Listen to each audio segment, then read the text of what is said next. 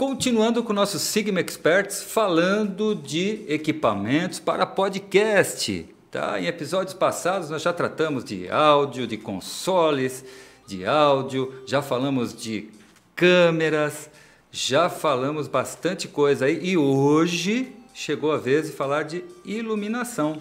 Então, para você que nos achou agora, se ainda não se inscreveu, se inscreva no canal, ative notificações, porque aqui nesse canal você tem bastante conteúdo. Vem comigo!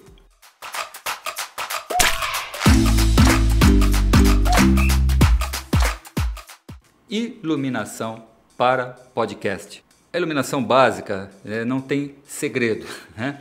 Sempre né, o beabá da iluminação são aquela iluminação de três pontos, né? a, a, a luz principal, né? a key light, né? aquela luz direta, a key light, a iluminação de preenchimento, né? para dar aquele né, para não dar sombra no rosto, e a iluminação de background. Então são isso é, é, básico, né? Se você for fazer chroma key, iluminação de três pontos. Se você for fazer podcast, também. Porém, para esse episódio, eu reservei uma técnica muito utilizada que pode ser é, usada para podcast que se chama cross key, que não é nada mais, nada menos do que ter dois iluminadores cruzados. Em vez do fill light ficar aqui, ele vai ficar assim e vai aparecer o diagrama de como que fica a disposição dos iluminadores, tá? Ele vai ficar cruzado e é isso que é interessante, porque quando ele cruza, ele consegue ao mesmo tempo produzir a luz do background. Então você economiza um iluminador. Fica muito legal. Em termos de podcast, o que fica legal às vezes é colocar luzes diferentes, né? É, de fundo, que não precisa ser uma luz de background, é uma luz mais decorativa do que propriamente uma luz é, para dar qualidade para o vídeo. E Eventualmente, se você precisar de uma terceira fonte, se precisar de um, de um terceiro iluminador, é só instalar ele perpendicular a esses dois, tá? Então essa é uma técnica chamada cross key, que fica muito bacana para é, um setup de podcast. Aproveito para falar que tudo que eu estou falando aqui para vocês, é, nós temos é, alguns posts no nosso blog, que um deles aborda especificamente isso que eu estou falando sobre iluminação, tá? E tem a iluminação de três pontos que vai aparecer em algum lugar aí, justamente falando do key light, fill light e da luz de contra lá o, o backlight, tá? Que para chroma key o backlight é justamente a, a, a luz do recorte, né? Por sinal, nós estamos um chroma key, né, aqui nesse Sigma Experts. Estamos fazendo um, um chroma key. Então, iluminadores interessantes que você pode usar. É, nós costumamos trabalhar aqui na Sigma com os iluminadores da Tolifo por questões de custo-benefício. Então, há, separei dois modelos interessantíssimos.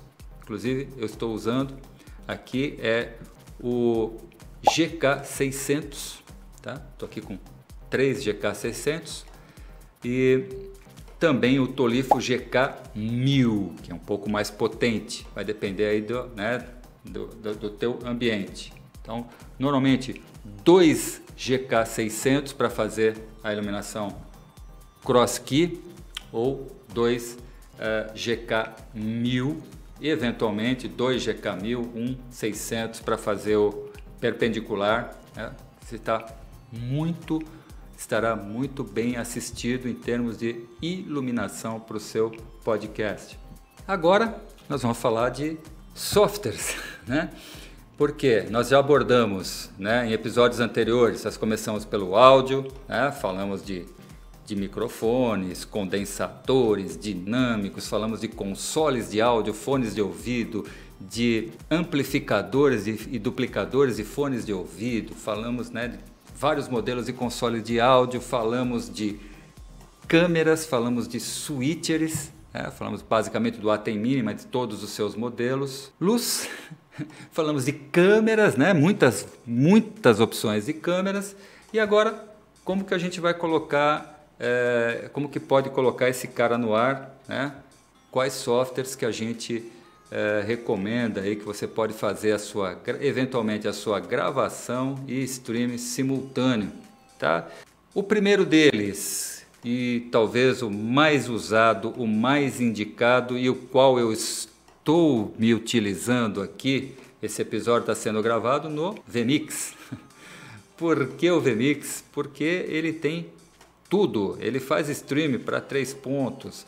Ele tem a possibilidade do video call. Gente, o video call em algumas emissoras aí ele está substituindo os links. Você faz um chamado à distância pela internet, praticamente sem delay. Então tem o video call, tem a entrada das câmeras, tem a geração de caracteres, tem a gravação, tem o chroma key, tem muita coisa nesse software muito fantástico chamado VMix. Agora, esse software ele é um pouco mais assim do nível profissional, né?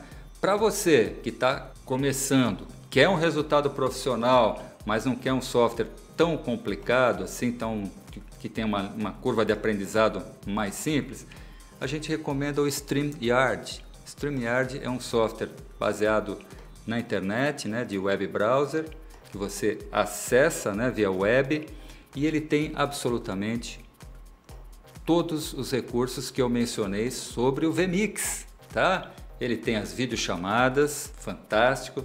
Ele também tem o chroma key, ele vai conseguir casar muito bem com todos os equipamentos que nós é, recomendamos aqui. Ele vai pegar lá a saída do seu Twitter Atem, vai ser a fonte de vídeo para ele e vai tudo funcionar perfeitamente. Ele vai gravar, ele vai fazer streaming, vai ser. Então, VMix, StreamYard, Widecast, um software também que muitos utilizam, que tem características interessantes que podem ser utilizadas. A minha preferência é o VMix, tá? Mas para você que não quer gastar nada, você também pode fazer via OBS.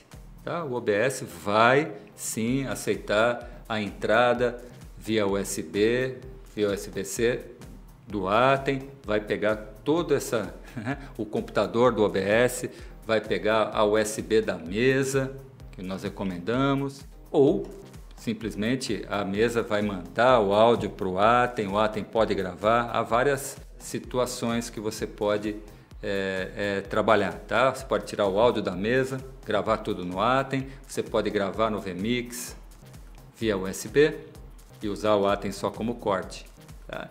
Mas isso encerra e fecha, né? Todo o assunto podcast. Nós abrangemos é, nos episódios anteriores, encerrando com hoje, tudo o que você precisa para montar um podcast profissional, tá?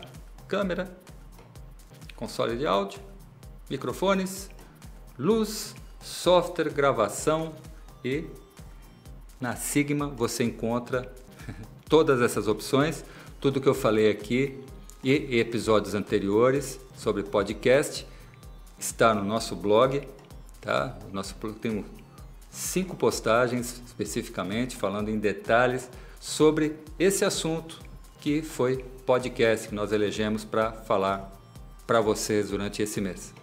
Para você que nos achou agora, né, é, que ainda não se inscreveu, sugestão, se inscreva no nosso canal.